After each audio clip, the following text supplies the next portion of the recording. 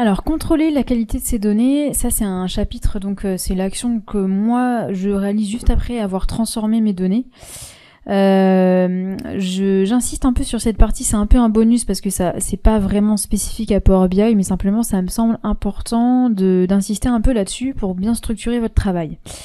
Donc, pourquoi contrôler la qualité de ces données? Donc en fait, euh, j'aurais commencé en partageant avec vous deux choses. La première, c'est cette petite phrase qu'on entend souvent, c'est que être chef, c'est prendre des décisions sur la, base d'informations incomplètes. Et c'est pas faux, hein. en tant que décisionnaire, on n'a jamais toutes les informations qui permettent de prendre une bonne décision, parce que bah, on peut pas tout mesurer, on n'a jamais de données vraiment exhaustives, on n'a jamais collecté les avis de tout le monde non plus, on n'a pas toutes les informations du terrain, euh, il y a des choses qui sont pas consignées, etc. Du coup, effectivement, on évolue forcément avec bah, une part d'incertitude. Et ça, il faut en être conscient. La deuxième chose que je voulais partager avec vous, c'est un chiffre. Devinez, d'après vous, quelle est la part de euh, dirigeants qui n'ont pas confiance en leurs données? Euh, c'est basé sur une étude KPMG. Et en fait, on se rend compte que c'est bah, les deux tiers des dirigeants qui sont vraiment pas à l'aise avec les données qu'ils exploitent et qui en, tout cas pensent que euh, la base sur laquelle ils font leurs décisions est assez euh, fragile. Voilà, donc ça c'est un peu flippant. Ça m'amène euh, aux trois raisons pour lesquelles il faut contrôler la qualité de ces données. La première raison, du coup, c'est pour prendre de bonnes décisions. Parce que bien sûr, c'est le fameux euh, adage garbage in, garbage out. Hein. Si les entrées d'un système sont mauvaises, les systèmes, les entrées, les sorties, les sorties seront forcément aussi. Donc, euh, plus vous avez une qualité des données qui laisse à désirer, plus vos informations en sortie seront erronées, plus vous prendrez de mauvaises décisions, parce qu'elles seront prises sur des bases très très fragiles.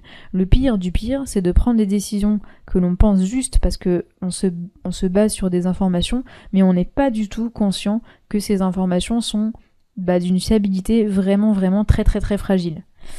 Euh, deuxième raison, tout simplement, c'est pour optimiser la valorisation de vos données. Les données, elles ont une valeur maintenant euh, qui, qui, augmente de plus en plus et que et votre, la valeur de votre entreprise, quelque part, c'est aussi la valeur de vos données.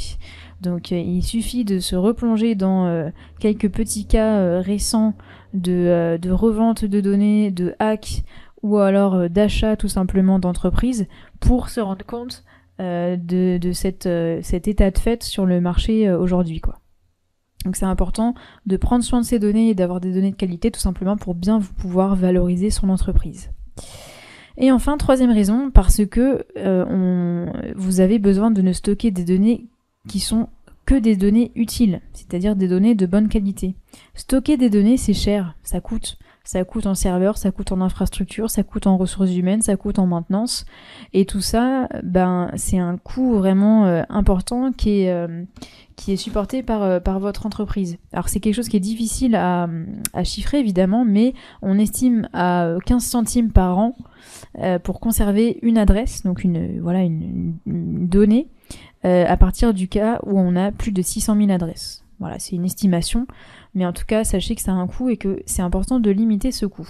Voilà, donc vraiment trois raisons majeures euh, pour être conscient de la fiabilité des informations sur lesquelles on prend ses décisions et donc du coup prendre de bonnes décisions, optimiser la valeur de vos données, donc de votre entreprise, et diminuer les coûts de gestion des données. Donc c'est vraiment un rapport euh, où on va chercher à optimiser la valeur de l'entreprise, à éviter de faire perdre du temps aussi à ses ressources humaines euh, et du coup à euh, créer un peu un climat comme ça de de lourdeur qui peut être assez pesant quand on quand on est au cœur de process de gestion de données qui sont qui sont justement pas fiables et voilà.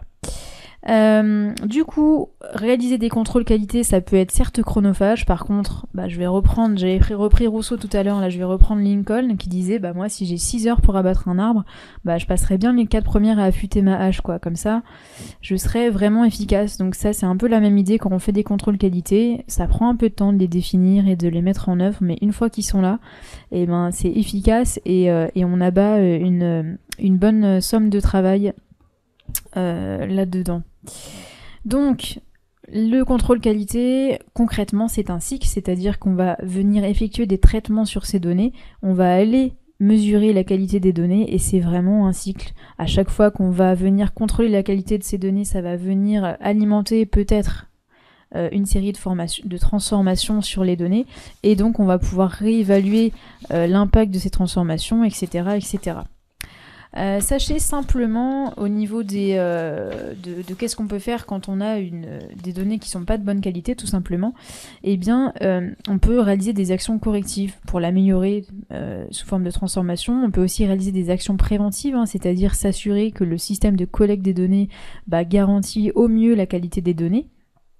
Donc soit en informant le personnel, soit évidemment en écrivant des procédures ou en contraignant les systèmes pour éviter les erreurs de saisie par exemple. Voilà, et tout ça, ça contribue au fait que la qualité des données s'améliore et du coup euh, la, fiabilité, la fiabilité des informations présentées s'améliore également.